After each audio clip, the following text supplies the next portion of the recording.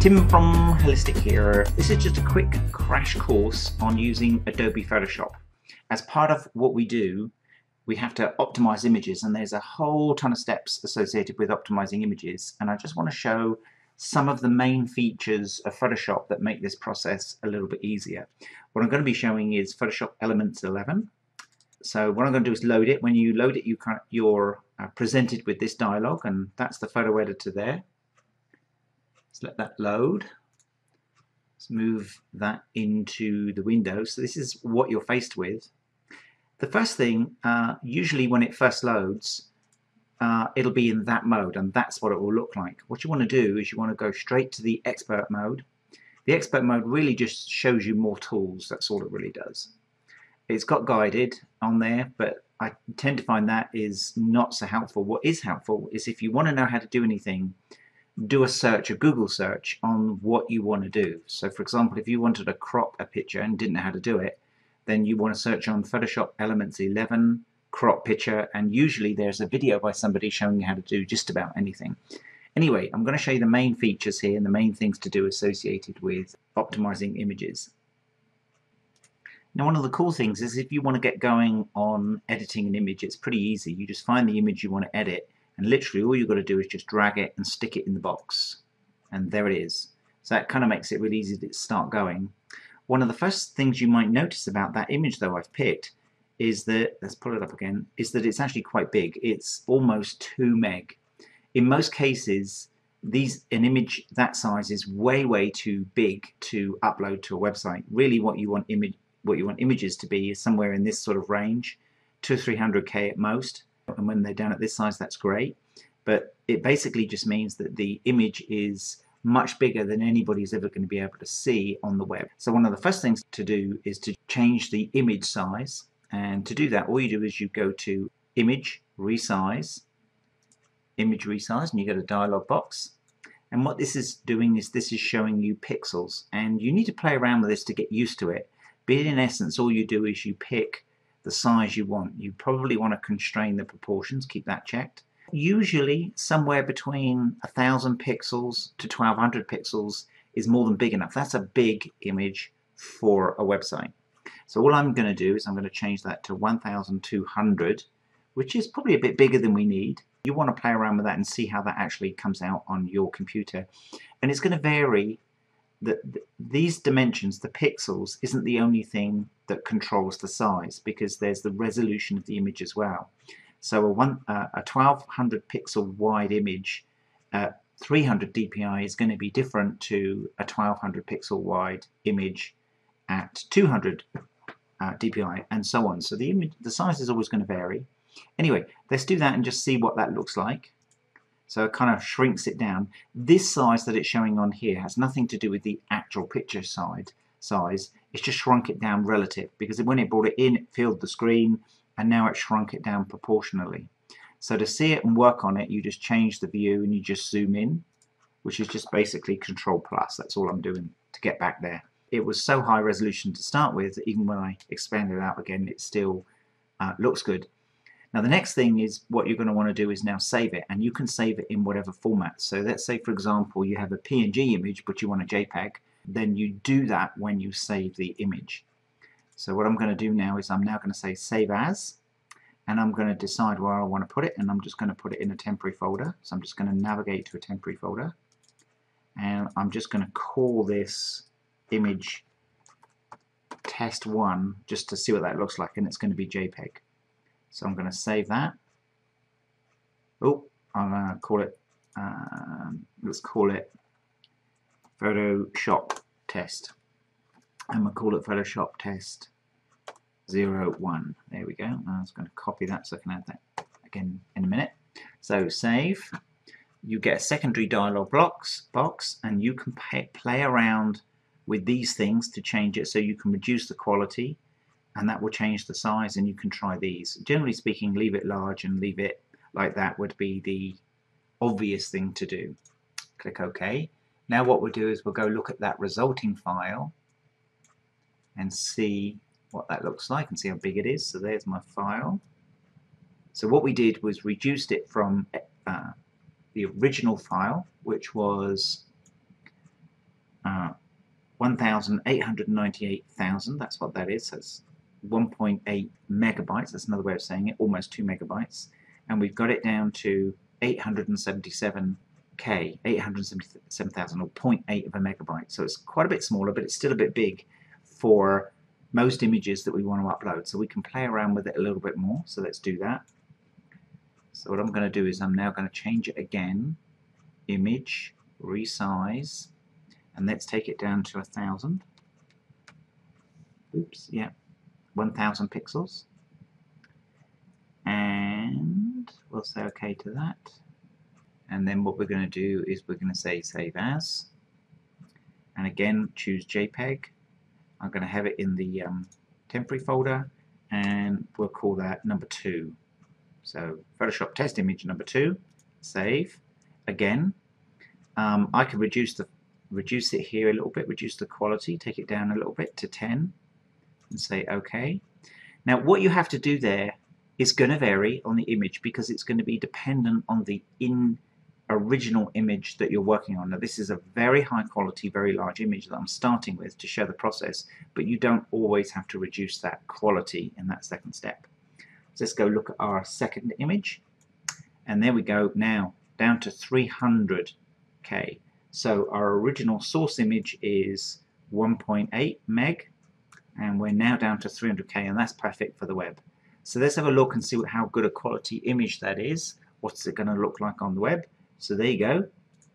That's what it's going to look like on somebody's computer screen. So it still looks really nice and high quality. So you've got to do that. You've got to look at it and you've got to make a change and think, well, is it starting to get blurry? What's the quality look like? And just play around with it. But you can see the process there that this image looks very good, it's high quality, more than high quality enough for the web. I can even make it bigger and it still looks pretty good as an image.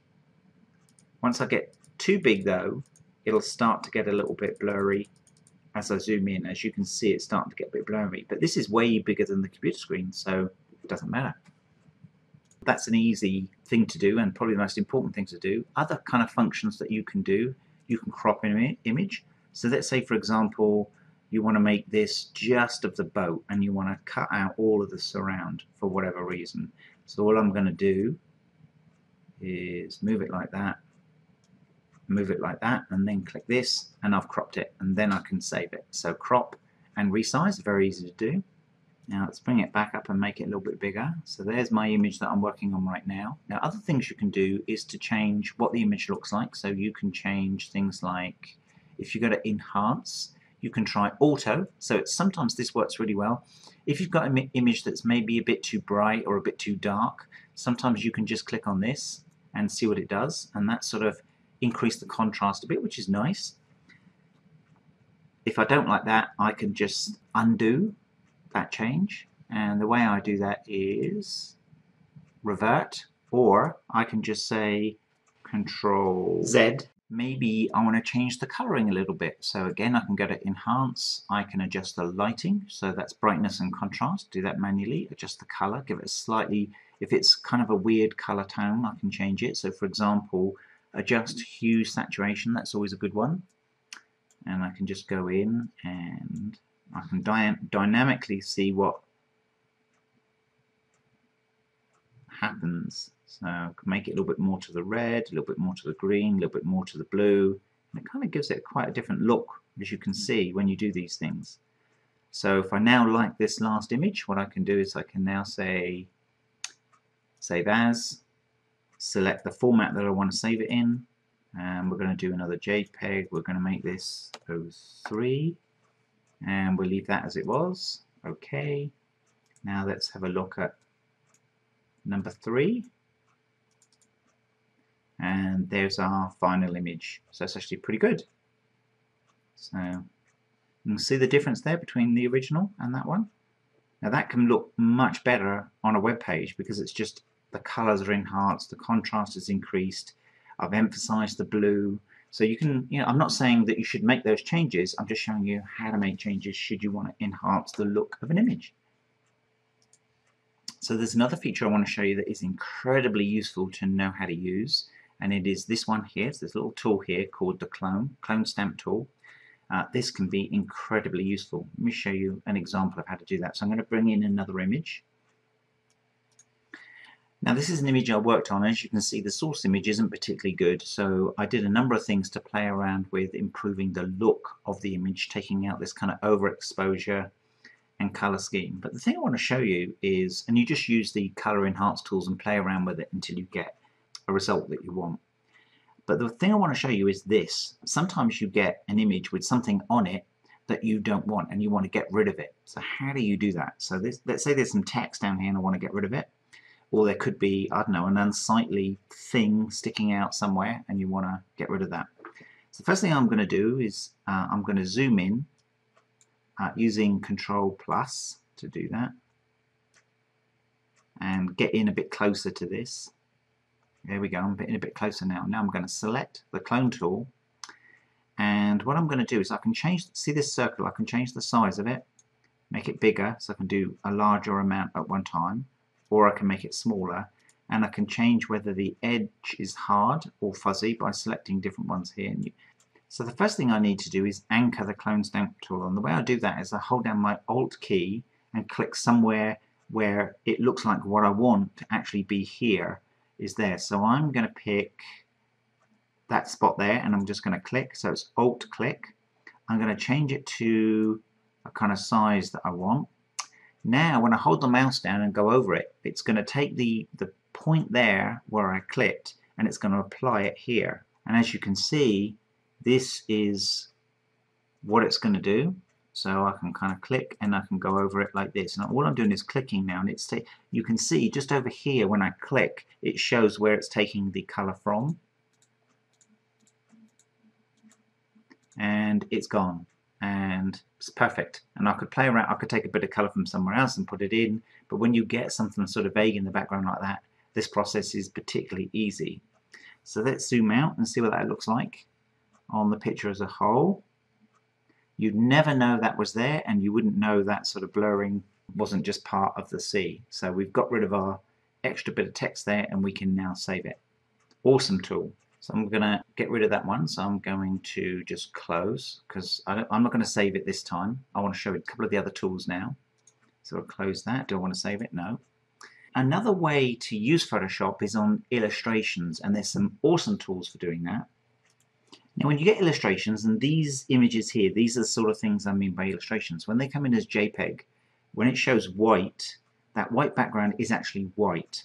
And let me show you the effect of that. So I'm, all I'm going to do is I'm going to drag that and put it on my canvas. And what I'm using now is PowerPoint just to show the effect of the image what the image looks like. So let's make that a bit smaller. And you can see what I've got is I've got the image but it's on a white background and what I might want to do is I might want to have this background as transparent so that the only thing that shows up is the drawing and it's not in a square but I want to change the background color for example or I want to overlay it over some text or something like that. So what I have to do is I have to change this image so that the background is transparent rather than white. Now this is a really good thing to learn how to do. Uh, so all I'm going to do now is I'm going to take that same image and I'm going to put it into Photoshop and there's my image. And what I'm going to do is I'm simply going to get my eraser and make sure that it's set like this. And I'm going to click here and you can see this dotted area is now transparent. That's what that that's what that checker pattern looks like. So I want it to be transparent. But what I'm noticing here is this section isn't and it kind of doesn't it won't look right if it's on a page because this part will be white. So I want that inner bit done and I want that bit done. So it makes the phone look like it's on a different background when I do that. So all I've got to do now is I've got to save it save as, but I'm going to save it this time and it has to be saved as a PNG in order for the transparent function to work. PNG and we'll put that in our temporary folder and we'll call this call us on the phone well it can be called that that's fine and we'll save that and just yeah just say none of that and just say okay it'll take a second to save it uh, now let's bring, let's take a look at that image. So here's our saved image. Now what I'm going to do is I'm going to go back to PowerPoint so you can see what it looks like on a background when I bring that one in. And all I'm going to do now is drag it in and stick it on the canvas. And let's shrink it down and you can see the difference. Now you can see the difference between a JPEG with a white background and a JPEG with a transparent background, how different that looks. Now you can use, there's other tools that are closely related to this that are helpful to know to use. So for example, I might decide I want the phone to be a particular color. So what I can do is I can go to my color picker here and I get this dialog box. If I know what the color number is, so uh, for example if I want a specific color I can just enter the color number in there or let's say for example I want I want it to be a green phone I can sort of drag this here to the color green I want it to be say OK now that means the color, when I place it somewhere, is going to be that color. And there's a number of ways of applying that. I can draw it on, I can paint it on, or I can just use this little bucket fill. And wherever I click, as you will see, I've now got a green phone. Now you can get this problem, and the way you solve that is by, if you need to solve that, you would zoom in all the way and what you can do zoom in really close. Now it's a bit of work to do this part if you feel that you need to do this. Um, then what you can do sometimes is you can just sort of very carefully fill it in that way or you can do it manually by picking paintbrush. Make sure that you've picked the paintbrush tool there. All these things make subtle differences. You have to play around with them to get used to them. But you can see what it looks like when we zoom in and I can now paint in that area so by being very careful, as you can see, you can work around it. But that part of the process can be quite difficult to get right. So let's go back. Now let's go back to this level and redo the green, but I'm going to change some of the settings. So what I'm going to do is I'm going to pick my bucket again, and what I'm going to do is change the tolerance and see if we can get a better effect when we paint it in. So I'm going to change change it to uh, 101, that'd be right. Now what I'm going to do is put it in and see what effect that has. Now as you can see I don't have those white bits. So it's the tolerance, it's how accurate it makes the edges is affected by that. So this is the trick and the, where some people struggle is these settings down here can make a big difference to what it looks like. But as you can see, if I get the setting right, then this actual process of creating a green phone uh, becomes very easy to do. So I've now got my image on a transparent background and I have a green phone and let's say, um, I don't know, somewhat randomly, let's have a yellow dial area here. So I'm now going to make this yellow. Uh, so that's pretty good. So I've added a nice little bit of color. Let's say, for example, if I wanted to really make a point of emphasizing this phone.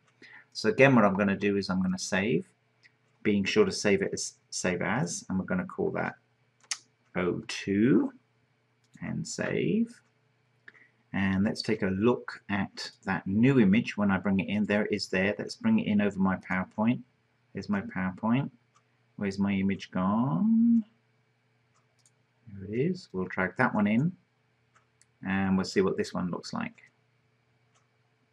so you can see there's the resulting effect on all these different images and different ways you can manipulate these illustrations. Now knowing those tools is incredibly handy to do when you want to create something interesting. Obviously you can add some text to it and do all kinds of fancy things.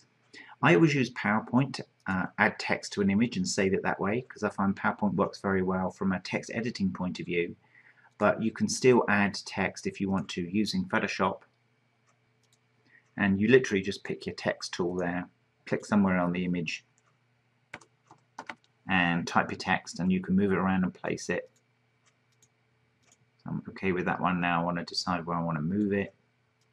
I can make it bigger and it's okay. The text is somewhat primitive compared to what you can do in PowerPoint but it's a good way to add some text if you want to and move it around and get it just as you want and you double click on it like that if you want to edit it. What we're now doing to optimize images is adding EXIF data. The way you add that is super simple. You just go to File, file information and this is all just scroll right over to here this is all your EXIF data so all of these different settings Often when you fill this first one in, some of the others are partially filled in, so you automatically for you. So you want to uh, start with this one and fill this in and give it a star rating. And uh, typically a copyright notice would just be if it belongs to a particular website, you'd put the URL of the website or the website uh, contact page in the area there. And you'd say here, all rights reserved, and then you'd put the URL down there. Pick one or two keywords and describe the image and give the image a good keyword optimized title. So pretty simple. And you can go through the rest of the fields and just fill in what you think makes sense to fill in. There's no exact rule for that, although it is a very good idea to add, if you're trying to optimize it for a location, to add the address, which is here, add the address of the location that you want to optimize it for, city, state, and so on. And if there's contact information, you know, put the client's phone number in there is a good thing to do. But then you just save it, and then you've got all your EXIF data added automatically. Piece of cake. So there you go. There's a few tips in using some of the basic functions of Photoshop. There's tons more that you can do with Photoshop. You can do just about anything that you can think of in Photoshop to modify or edit an image. I encourage you to play around with it. It's quite fun. Just knowing those few things should help accelerate the way you can make effective use of the application.